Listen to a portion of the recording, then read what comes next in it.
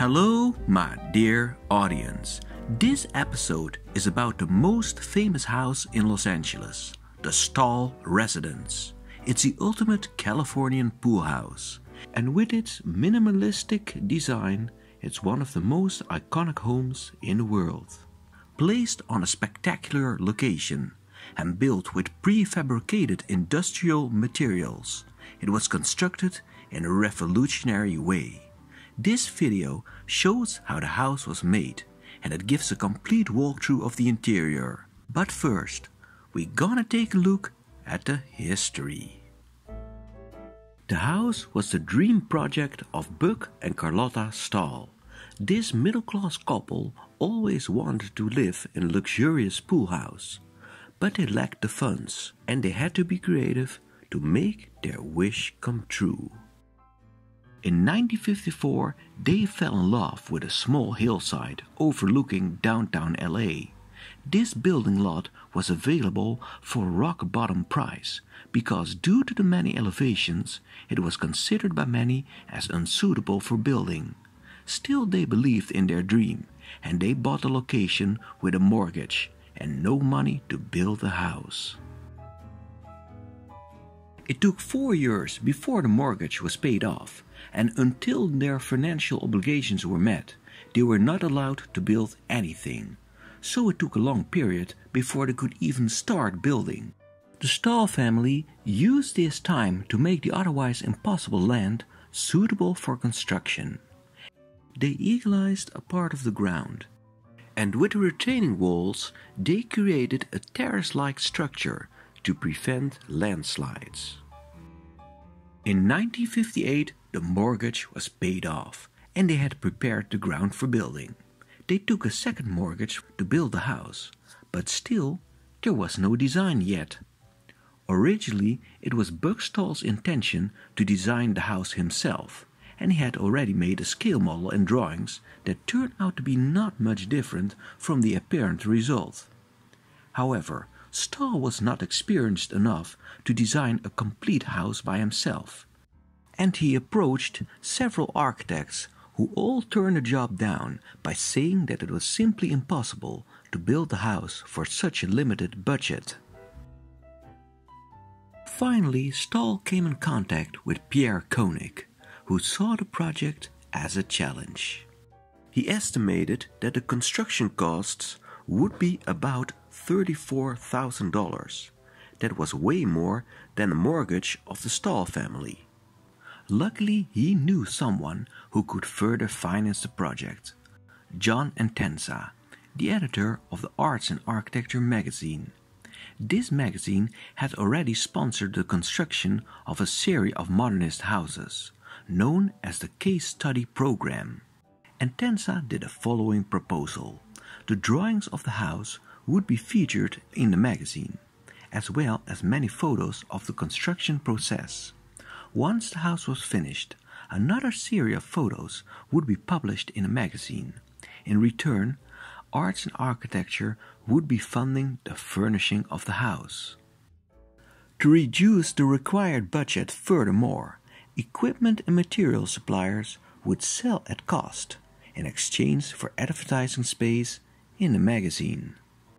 The Stahl House became the 22nd design that was partly financed by the magazine, hence the name Case Study House 22.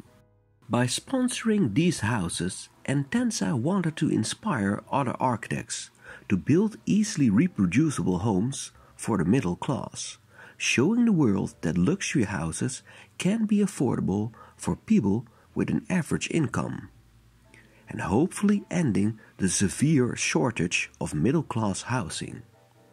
This shortage was caused by the economic depression in the 1930s, followed up by World War II. During these periods, hardly any new houses were built, while during the economic boom in the 1950s, the demand for new homes exploded.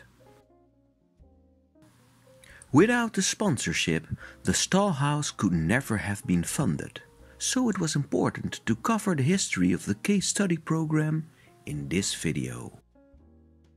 It was five years after the purchase of the building lot that the construction finally started. The first step in the construction process was to place concrete piles in the ground. On these piles, concrete grade beams were placed. Interesting is that one grade beam extended beyond the perimeter of the building ground. Therefore, a part of the foundation is visible from below the hillside.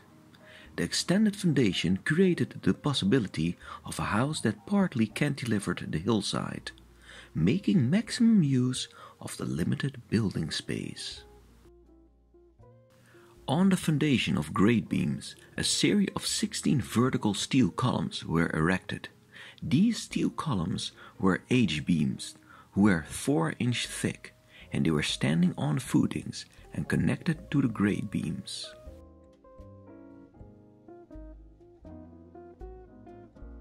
On top of these pillars, horizontal I-beams were placed. These I-beams were 12 inches thick. It needed only one day and five construction workers to build the entire skeleton, which was welded together. Once the frame was finished, a floor made of forced concrete was casted over the grade beams. This floor also contained an underfloor heating system that consisted of metal tubes. The roof was made by placing steel beams over the frame, which then supported metal plates. The great benefit of this construction is that the walls don't have to support the roof. This allows floor to ceiling windows that provide an unbroken view over the landscape.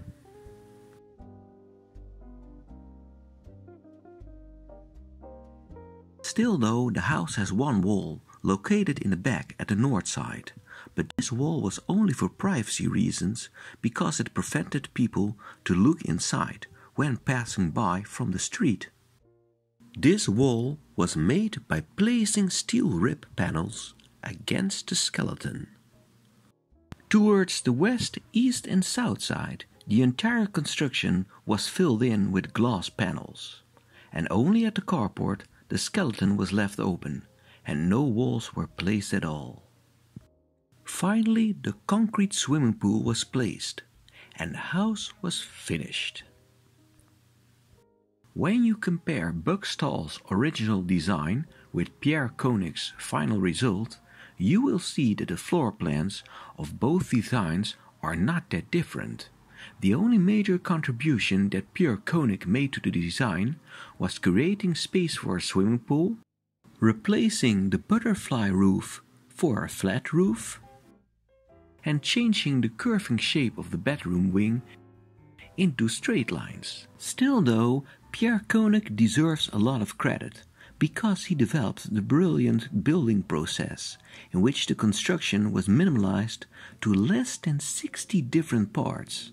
Originally, Buck Stahl wanted the house to be built out of wood, but it was Koenig's idea to make the house solely out of prefabricated elements that were industrial made out of steel, glass, and concrete. This allowed the house to be built extremely fast and economic. Pierre Koenig's progressive construction techniques influenced the prefabricated way most houses are built today, making the Stahl House an important milestone in the history of architecture. Because the design is so photogenic, the Stahl residence became the most famous of all the case study houses. Especially the photos by Julius Shulman, who worked for the Arts and Architecture magazine, were republished in several other books and magazines, making it an icon of modernism. The house became even more famous for its use in countless fashion photo shoots and if that wasn't enough, it was also used as location for many movies and TV shows, including the first Columbo episode, Galaxy Quest, and even an episode of The Simpsons. It also inspired many artworks, making it one of the most recognizable homes in the United States. At this moment, the house is still owned by the Stahl family and on some days it is open for public and you can get a tour guidance. For those who are never be able to visit, I made this video. So let's take a look inside. We start our tour from the sky. From here we see the densely populated hillside and we see how confined the building lot actually is. Behind the house is a street that curves over the hill. From here you can still see the retaining walls that were once built by Buck Stahl. For the largest part, the house is located above street level but at the carport the street comes in line with the front door. Seen from the street, the house feels enclosed and you can't see anything of the pool area. But once you get closer, you can catch a glimpse of the pool through the wall of breeze blocks. We step through the glass front door and we are in the pool area.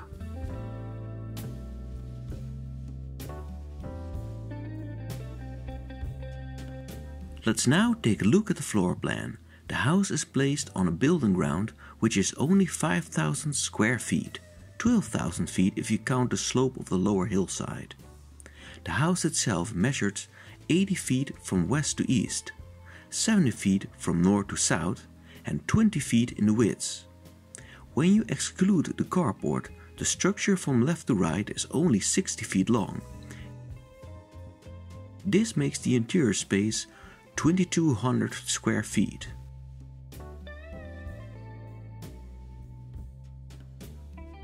The swimming pool is 800 square feet, which is very large compared to the size of the house. When you color the separated parts, you see that the house has an open floor plan with a limited number of individual spaces. There are two directions that provide access to the living room.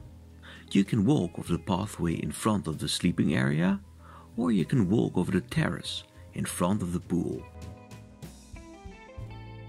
From the entrance, we turn to the left to the outdoor dining table that looks out over the valley.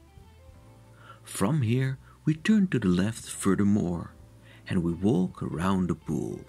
By placing the house in an L shape, Every room looks out over the pool, and through sliding doors, you can enter the swimming area from every living space.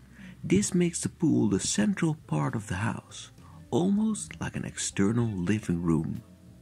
The house itself is not even that big and it is cheaply built, but the pool, combined with a breathtaking view over the valley, gives the house a feeling of graciousness and extreme luxury. This scale model shows how narrow the space between the pool and the valley is.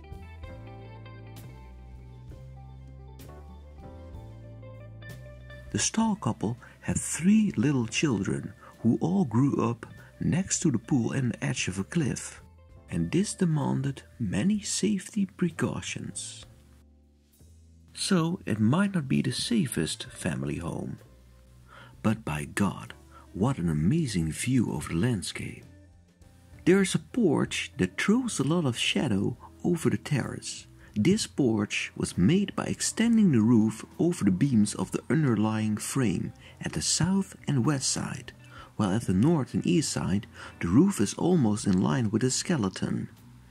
The porch also throws a shadow over the windows.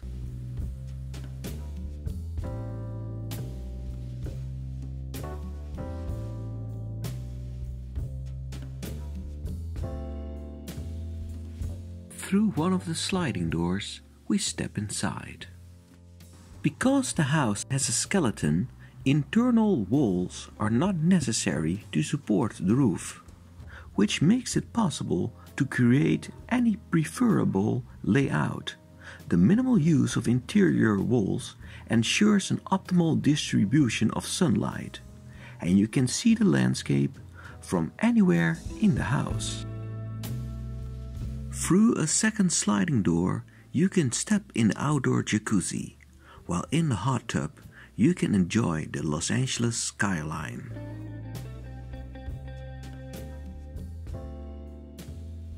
while in just a few seconds you can leave the jacuzzi and take place in a sitting area. The windows are placed very close to the edge of the cliff, so from the interior you can see hardly anything of the underlying hillside. This creates the illusion that the house is floating high over the city. Behind the sliding doors is a small terrace. From here, you can look down into the valley, which is 70 feet below. This spectacular living room is placed literally on the edge of a cliff. The horizontal beams extend a few inches beyond the roof, leading the perspective outside. This reveals the influence by Richard Neutra, one of the architects that inspired Pierre Koenig. At the east side is a narrow pathway that is used for window cleaning. Next to the pathway, the property already ends and a neighboring lot starts again illustrating that every inch of the available building space was used for the house.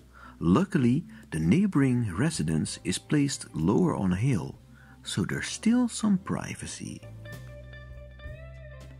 When you turn to the left, you see the dangerous looking part of the house that is cantilevering over the hillside. Back inside, we take a look at how the linear perspective and the many windows make the small living room look larger. This perspective is created by the lines of the many construction beams that are visible because there's no lowered ceiling. There was no money for a masonry fireplace, and therefore a steel framed fireplace was made. Nowadays, the steel frame is filled in with rock stones, but originally plaster boards were placed in the frame. The fireplace separates the living room into a sitting and dining area, thus functioning as a dividing wall while retaining the transparency of the large open space. Because it has openings on both sides, it can heat the sitting area and dining table at the same time. Most kitchens in the 1960s were enclosed, tucked away spaces. But this house has a kitchen that is fully open and placed central in the living space. While cooking, you can look at the landscape in each direction. In front is a bar, in the middle is a cooking island, and in the back is a kitchen unit placed against the only wall in the living room. The kitchen is illuminated by a light box that is placed in a lowered ceiling.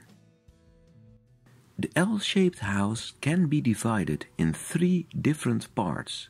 The sleeping area in the left has windows to the south, then the living room which has windows towards the south, west and east. And finally, there's the part which holds the more private spaces, like toilets, bathrooms and dressing rooms. Very wisely, this part is located where you have the least amount of windows the place where the two arms come together. Through this door, next to the kitchen, we step in a master bedroom.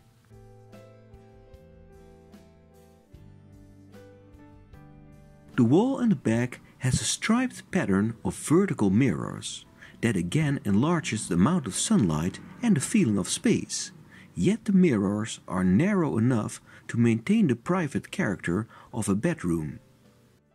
Because the internal walls don't have a load-bearing function, they don't need to go all the way up to the ceiling, allowing space for a clerestory, which again provides more sunlight and makes the room more spatial.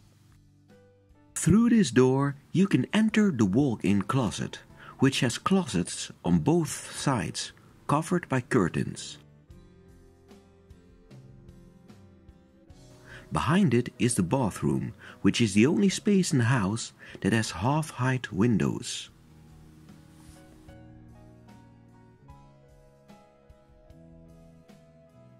We walk through the laundry unit and we return towards the master bedroom. But first we take a peek in the toilet, which is accessible through a sliding door.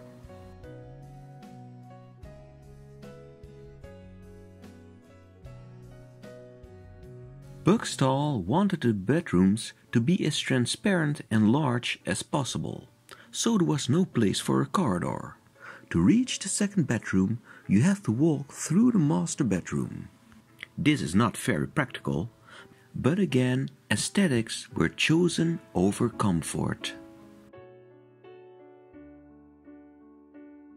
All the three children of the Stahl family slept in this bedroom. By placing a small dividing wall, you can easily make two bedrooms out of this single space. This explains why the bathroom in the back has two entrances, each with their own individual washing tables.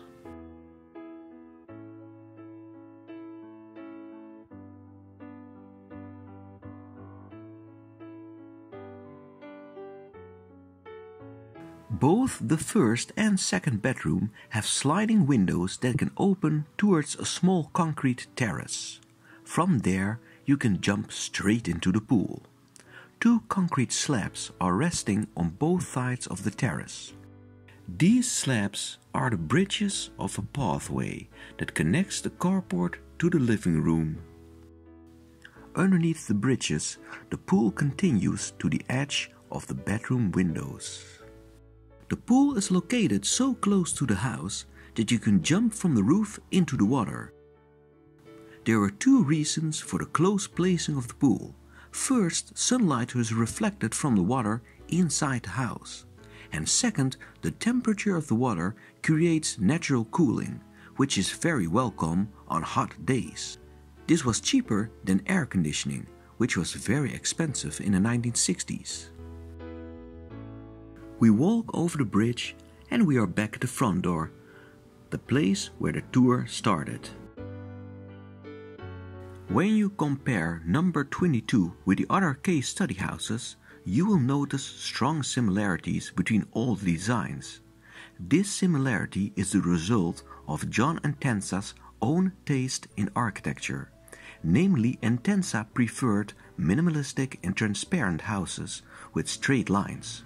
Based on this preference, the sponsorships were granted. Therefore, the case study houses form an architectural movement with their own trademarks. This also explains why organic architects like John Lautner and Frank Lloyd Wright were never approached by Entenza. They simply didn't fit with his taste in architecture. Still though, John Lautner designed a few houses that have some similarities with the case study movement. Whether you prefer the organic style by Lautner or the minimalist style of the case study movement is up to you. I like both styles, but Lautner always remains my favorite. We end this video with a look over the nightly skyline of Los Angeles. This was your tour guidance. Thank you for watching and I'll see you next time.